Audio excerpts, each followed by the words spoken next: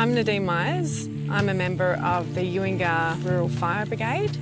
And we had the Long Gully fire hit our area last year. The fire just took off and there was so much fuel that the fire just rushed through this area. So there was no stopping it. All we could do was just um, get out there and, and protect all the assets and try and keep the people safe.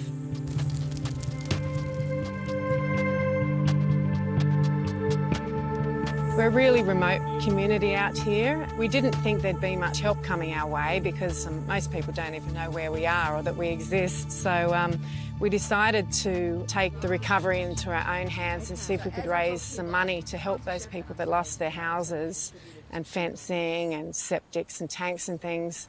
And so we started a fundraiser on Facebook and um, we also did a, a three day music event. We had about 20 bands all together that came and volunteered their time.